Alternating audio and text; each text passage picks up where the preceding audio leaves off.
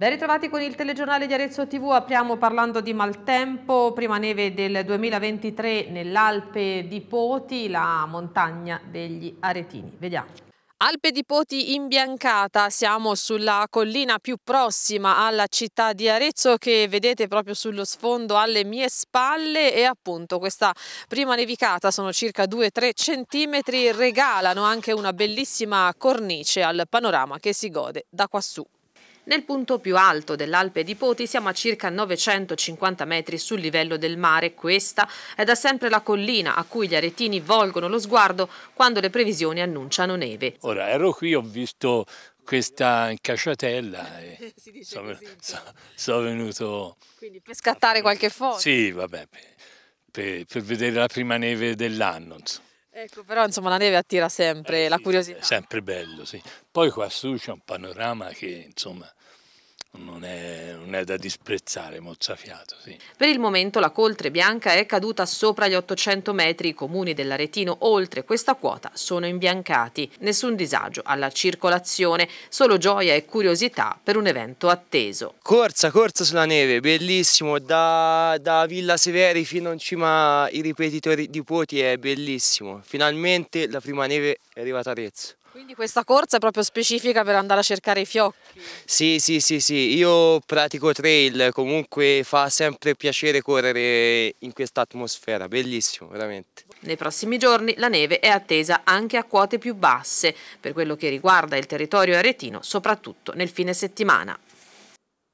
Maltempo che ha purtroppo creato anche importanti disagi, questa volta siamo nel tratto valdarnese dell'Autosole dove è caduta una copiosa grandinata.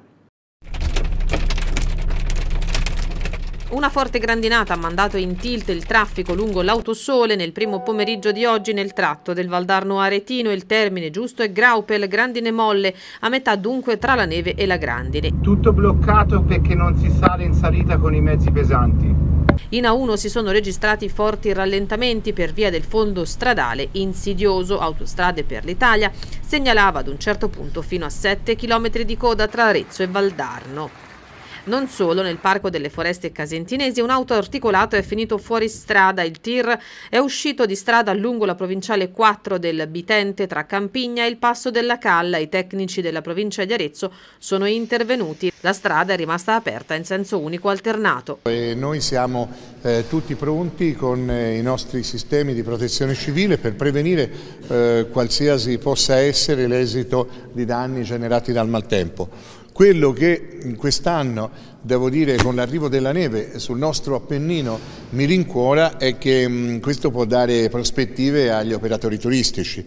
Noi abbiamo avuto la scorsa settimana l'incontro con il ministro Franz Santacchè, non è che la neve blocchi quello che lì ci siamo detti, abbiamo bisogno di ristori, abbiamo bisogno di risorse per investire sull'Appennino anche non in impianti sciistici ma anche impianti che possano dare un'attività complementare, palestre, palazzo del ghiaccio, spa, piscine, in modo che nei prossimi anni chi prenota una settimana di vacanza non la disdice semplicemente perché non c'è la neve ma anche altre alternative. E la sala operativa della protezione civile regionale ha emesso un codice giallo per ghiaccio e neve per tutta la giornata di domani. Le aree interessate sono quelle interne e orientali. Ha esteso il codice giallo per tutta la giornata appunto di venerdì per l'Alto Mugello e l'Appennino Aretino, in particolare dove è prevista neve oltre i 200 metri con cumuli fino a 10 centimetri.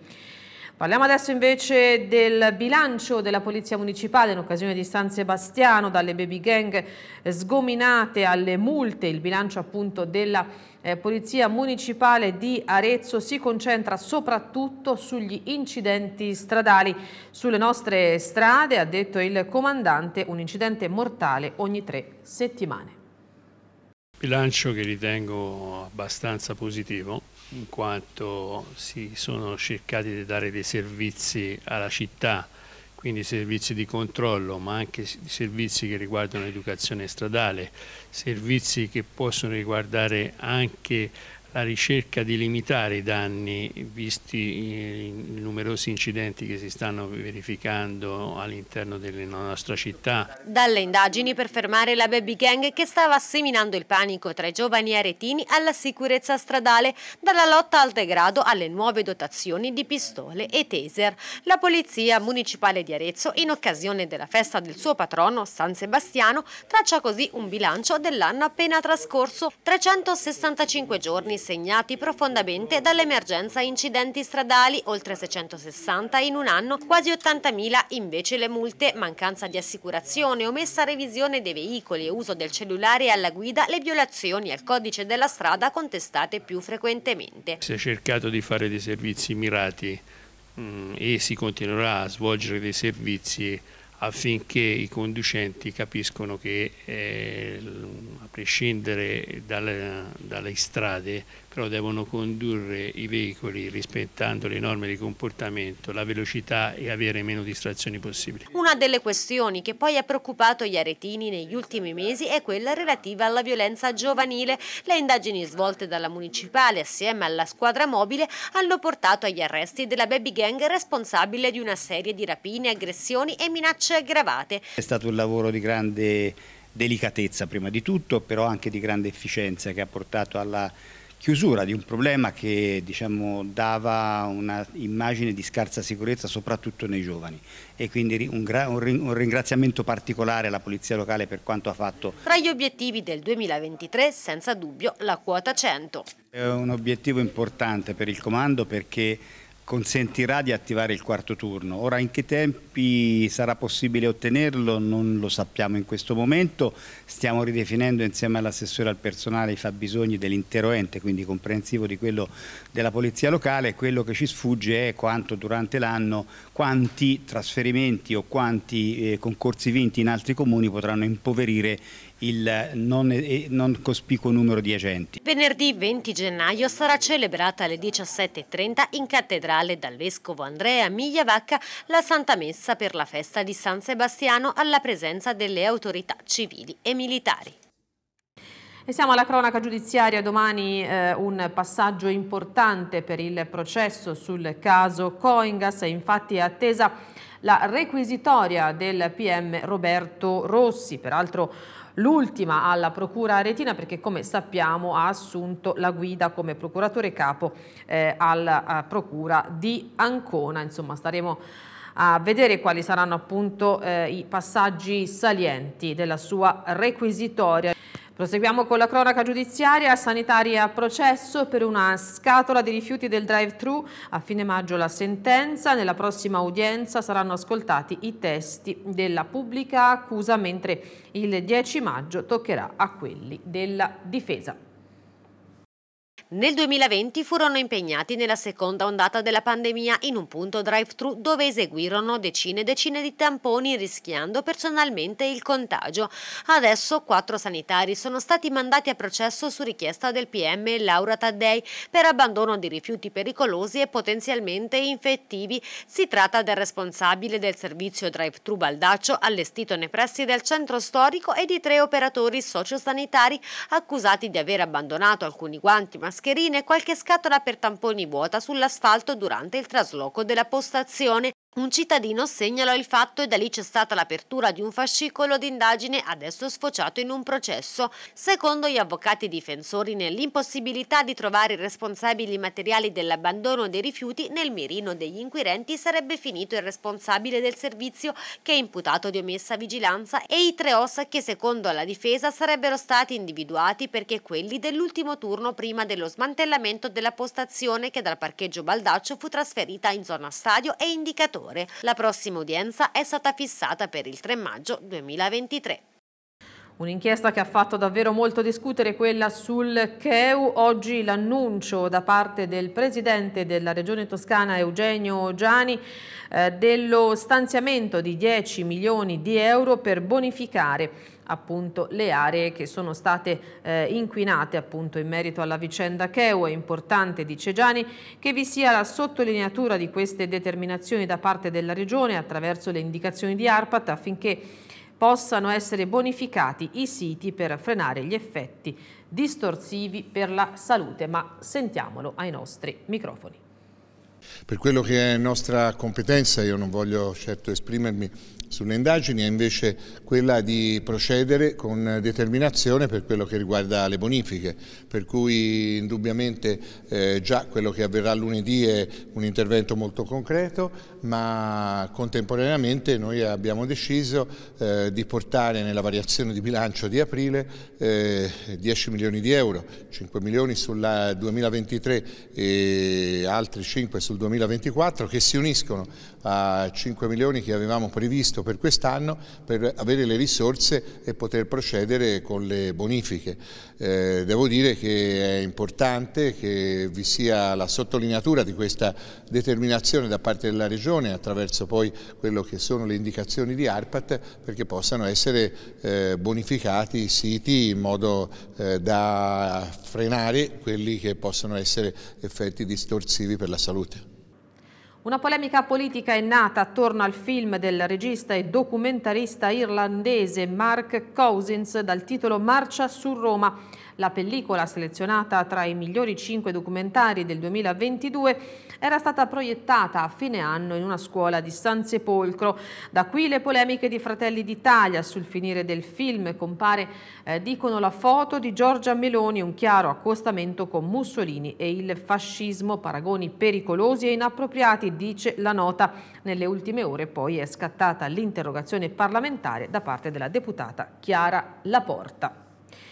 La Filctam CGL si conferma il primo sindacato negli stabilimenti Prada della provincia di Arezzo. Ieri i lavoratori di sei dei sette stabilimenti hanno appunto eletto i 39 rappresentanti e le preferenze della CGL sono andate oltre il 65%. Il 26 gennaio Andrea Guerra subentrerà a Patrizio Bertelli nel ruolo di amministratore delegato, una fase appunto che la RSU seguirà molto da vicino.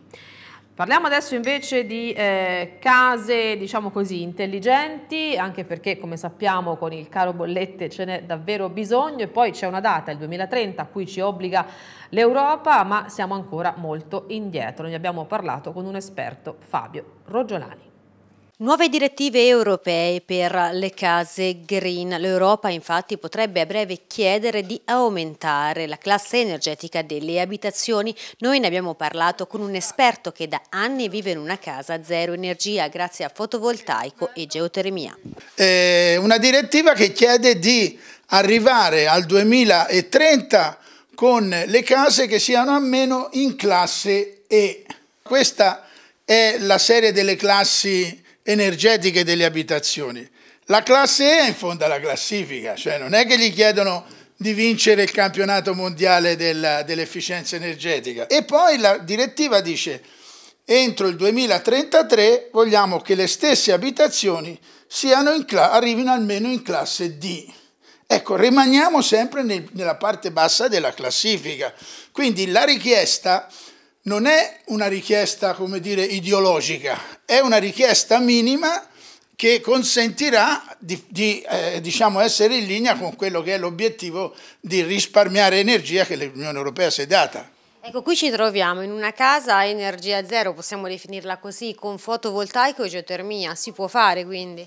Beh, certo, qui noi siamo nell'alto della classifica, ci siamo da 17 anni, si può traendo con una serie di strategie, eh, eh, diciamo prendendo un po' di calore dalla terra o di temperatura, perché poi d'estate è il fresco, ovviamente si può trarre energia dal sole con il fotovoltaico e utilizzando uno strumento che si chiama pompa di calore, cioè l'era ormai, quello che sta avvenendo è l'evoluzione delle pompe di, del, del riscaldamento, dal riscaldamento a caldaia con le pompe di calore. Parla di sostenibilità ambientale, ma lei ha avuto anche un notevole risparmio poi. Ovviamente è il salvabollette, lo chiamo. E io vi consiglio di non rimanere a metà, decidervi, meglio come si dice, patire una volta sola, però da quel momento in poi tenete conto che una bolletta con una casa di questo genere è un sesto una, della bolletta totale, anche perché io ne pago una bolletta, non due. C'è forte eh, soddisfazione nell'ordine dei dottori commercialisti ed esperti contabili della provincia di Arezzo. Sette sono stati infatti eletti membri in altrettante commissioni di studio istituite in seno al Consiglio nazionale. Si tratta di Piero Benedetti nella commissione accertamento e rapporti con l'amministrazione centrale e locale, Stefano Capaccioli in quella di imposizione fiscale delle nuove realtà economiche virtuali. Giovanni Cappietti si occuperà del reporting di sostenibilità. David Faltoni per quello che concerne gli adempimenti fiscali dell'amministratore giudiziario, l'amministratore giudiziario i beni sequestrati e confiscati. Giovanni Grazzini farà parte della commissione che si occuperà dell'internazionalizzazione dei professionisti. Lorenzo Navarrini di quella relativa alla fiscalità internazionale. E infine Fabiola Polverini è stata nominata nella Commissione Sovraindebitamento e Procedure Minori. Parliamo adesso invece di Science Lab, una rassegna che è stata presentata proprio oggi. Il 2023 è l'anno di debutto per l'Arezzo Science Lab, un nuovo progetto organizzato dalla Fondazione Guido d'Arezzo e dall'Associazione Culturale Lab in collaborazione con la libreria La Feltrinelli Point. La Fondazione Guido d'Arezzo è indiscutibilmente la principale istituzione culturale della città ma ha il dovere, e lo fa bene, di interfacciarsi con tutto il mondo della cultura retina. Quando abbiamo cartelloni di livello come questo eh, è giusto collaborare. Dal 4 febbraio si parte con un cartellone di spettacoli teatrali a tema scientifico dove ospiti di rilievo nazionale ed internazionale nei loro ambiti di ricerca porteranno il loro sapere sul palco presentando con la formula di monologhi teatrali delle lezioni su argomenti di spesso difficile approccio come la fisica, la matematica, la botanica e l'architettura. In inizieremo subito con il botto, come si suol dire, perché avremo Pier Giorgio Di Freddi, uno dei grandi divulgatori scientifici e intellettuali del, del nostro tempo, e, e, poi continueremo con tutte eccellenze italiane a livello internazionale. Avremo per la matematica Paolo Zellini, eh, per la fisica Gabriella Grayson, eh, di nuovo per la fisica e astrofisica Guido Tonelli, eh, per il mondo della botanica e delle neuroscienze vegetali Stefano Mancuso e Odi Freddi interverrà sul tema dell'intelligenza artificiale e poi avremo anche uno special event che riveleremo il giorno dell'inizio del festival, il 4 febbraio, ore 21 al Teatro Petrarca con Pier Giorgio Di Freddi. Si esce da questi spettacoli eh, non solo divertendosi ma portandosi a casa eh, qualche conoscenza in più, qualche dubbio in più e probabilmente poi la, il confronto su questi temi continua in famiglia, incuriosisce e porta ad approfondire cose estremamente interessanti. C'è anche la perla della Valdichiana Lucignano nella prestigiosa pubblicazione The Most Beautiful Borghi of Italy che è stata presentata presso la sala dei gruppi parlamentari della Camera dei Deputati insieme all'Italia rinasce dai borghi. All'evento introdotto da Fiorello Primi, presidente dei borghi più belli d'Italia e condotto da Osvaldo Bevilacqua, ambasciatore dell'associazione, sono intervenuti il sottosegretario del Ministero della Cultura Vittorio Sgarbi, il presidente del Consiglio nazionale ANCI Enzo Bianco, il direttore della PT Basilicata Antonio Nicoletti e Antonio Luna, autore del libro L'Italia appunto rinasce dai borghi. Tempo di carnevale, il 5 febbraio la prima sfilata anche per il carnevale aretino dell'Orciolaia, dopo tanti anni però non ci saranno i carri allegorici tutto pronto per la prima uscita del Carnevale Aretino dell'Orciolaia. Dopo due anni di stop forzato a causa della pandemia, torna l'evento con un nuovo format e in accordo con il comune di Arezzo in una nuova location più vicina al centro storico. Tre gli appuntamenti in programma il 5, il 12 e il 19 febbraio 2023 all'interno del Parco Aldo Ducci in via Montefalco. Trovandosi proprio all'interno di un parco cittadino, le sfilate subiranno delle inevitabili modifiche. Non ci sarà saranno infatti carri allegorici, ma sarà comunque possibile immergersi in un percorso pieno di animazione e divertimento con giochi e musica, laboratori per grandi e piccini all'insegna del circo e della giocoleria. Pronto a tornare anche il carnevale più antico d'Italia, quello di Fogliano della Chiana. Dal 5 febbraio al 5 marzo per 5 domeniche verrà celebrata la 484esima edizione di una delle manifestazioni che vanta più storia. Il Borgo Aretino tornerà così ad essere capitale dei coriandoli celebrando celebrando il carnevale con la sfilata dei giganti di cartapesta e tanti appuntamenti per grandi e piccini, dalla musica all'enogastronomia passando per l'arte. Quattro come sempre i carri allegorici in gara, rispettivamente realizzati dai quattro cantieri azzurri, bombolo, nottambuli e rustici che dalla prima domenica daranno vita a veri e propri spettacoli che avranno come palcoscenico le vie del centro storico di Foiano. Lutto nel mondo della politica aretina è scomparso Graziano Cipriani, storico dirigente del Partito Socialista Italiano di Arezzo. Aveva chiesto da capogruppo al Comune nel 99 che fosse istituita una commissione di inchiesta su Tangentopoli per le vicende che avevano visto coinvolto Bettino Craxi. Proprio oggi ricorrono i 23 anni eh, dalla sua scomparsa, era molto legato a lui, dice il segretario nazionale, sia politicamente che umanamente. Il destino appunto ha voluto che venisse a mancare proprio nel giorno in cui ricorrono i 23 anni dalla sua scomparsa. Lutto anche nel mondo del commercio è scomparso Umberto Falugi, figura storica dell'imprenditoria sangiovannese. E infine chiudiamo con lo sport. L'Arezzo compie 100 anni, il logo dei festeggiamenti lo disegnano i tifosi, presentato il contest per scegliere il simbolo del centenario Amaranto. La gente potrà anche scegliere la maglia per la stagione 22-23. Massimo Gianni. E in nostra compagnia Alessandra Severi, eh, responsabile marketing eh, dell'Arezzo. Eh, con lei parliamo di questo concorso che è stato ufficializzato questo pomeriggio e che riguarda il centenario. Sì, oggi è una data direi storica, no? parlando di centenario, perché abbiamo lanciato il primo co il contest, quindi la prima attività del comitato. Si tratta appunto di eh, realizzare un um, bozzetto del logo del centenario del comitato. Questo ovviamente sarà fatto da parte di tutti i tifosi, da parte di tutti quelli cittadini che vorranno partecipare e ci pare quindi una bellissima novità, un, un buon inizio per uh, delle attività del, del comitato. Partecipare, a quanto avete spiegato, è molto molto semplice. Sì, è molto semplice, peraltro eh, si possono trovare tutte le indicazioni già da oggi pomeriggio sul sito, eh, quindi cioè, è stata creata anche una mail eh, centenario chiocciola ssarezzo.it utile proprio non solo per presentare questo bozzetto, eh, lì troverete anche tutto il regolamento, ma anche per poter comunicare con noi in merito a suggerimenti per i festeggiamenti del centenario. Ci siamo tutti in fibrillazione in realtà, quindi a maggior ragione eh, le tifoserie. E sì, devo dire mi aspetto una grandissima partecipazione perché penso che sarebbe un onore per chiunque pensare di aver realizzato il logo del centenario, insomma comunque del comitato. E, ehm, I tempi sì, partiamo da oggi ufficialmente e terminiamo il 14 di febbraio, una data importante per noi. E, e poi ci saranno il 19 in occasione della partita Arezzo Ghiviborgo il 19 di febbraio ci sarà la possibilità di votare eh, sia presso le postazioni che verranno poste all'interno dello stadio che sia in tribuna che in curva sud, ma anche tramite social. Poi comunque tutti i dettagli li trovate già da oggi sul sito.